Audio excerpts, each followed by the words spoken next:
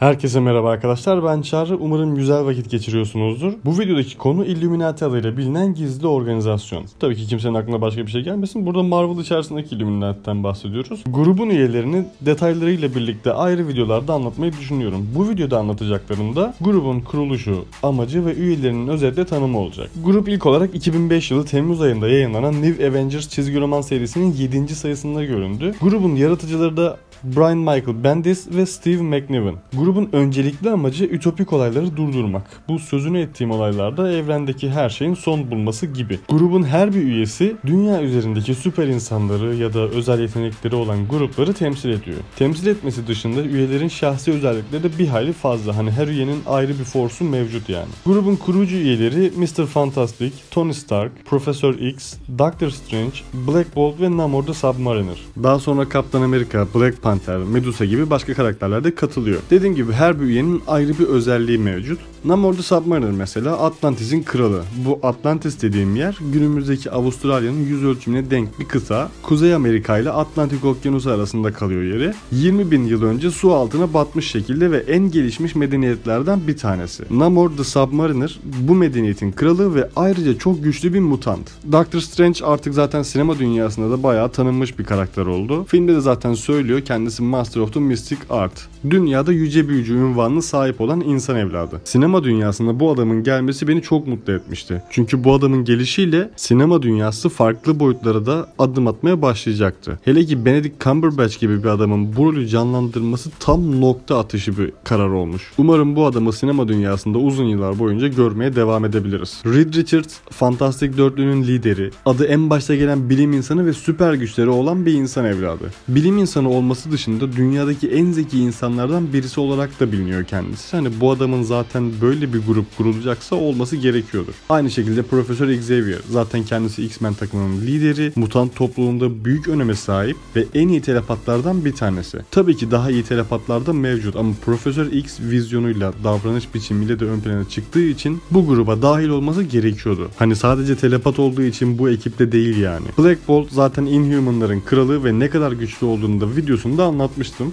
Link hem videonun altında olacak hem de kartlarda mevcut. Bu adam da sadece kral olduğu için ya da güçlerinden dolayı seçilmemiş aslında. Şöyle düşünün ki Black Bolt bu konuşmasıyla alakalı gücü çok küçük yaşta almıştı. Bu gücü şehirleri yıkabilecek kadar etkili olduğu için de küçük yaştan itibaren dikkat etmek zorunda kaldı. Yani küçük yaşından itibaren büyük sorumluluklar alabilme yeteneğine de sahip olmuş oldu bir yandan. Son olarak bu ekibin kurulması fikrini ortaya atan kişi Tony Stark da Avengers ekibine liderlik yapmış. Kendi imkanlarıyla kahraman olmuş. Burada demek istediğim serum ya da mutant yeteneği ya da başka bir özelliği olmadan sadece zekasını kullanarak kendisine muazzam bir zırh yapıp Iron Man olabilmiş. Dünyadaki en zeki insanlardan birisi de bu. Yani Doctor Doom, Mr. Fantastic gibi adamlarla birlikte en zekiler sıralamasında üst sıralarda oynayanlardan birisi de Tony Stark. Dediğim gibi hepsinin farklı farklı üstün özellikleri var ve bu özellikler sayesinde her biri karşılaştıkları olaylarda farklı bakış açısına sahip olabiliyorlar. Black Panther de mesela aynı şekilde adam Wakanda gibi gelişmiş bir ülkenin kralı, dövüş sanatları ve asiliyle ön plana çıkmış bir adam. Ekip üyeleri bu şekilde. Dediğim gibi bu sadece birinci bölüm. Karakterleri diğer videolarda daha da detaylı şekilde anlatmaya çalışacağım. Yalnız daha önce Black Bolt ve Doctor Strange hatta Black Panther videosunda paylaşmıştım. O yüzden diğer karakterlere öncelik vermeyi düşünüyorum. Onu da söyleyeyim. Bu ekibin kurulma olayı da Kree'ler ve Skrullar arasındaki savaştan bir hafta sonra oluyor. Savaşı anlattığım bir video vardı sanırım ama özetiyle şöyle ki Hala gezegeninde iki tane ırk yaşıyor. Bunlardan birisi Kree'ler,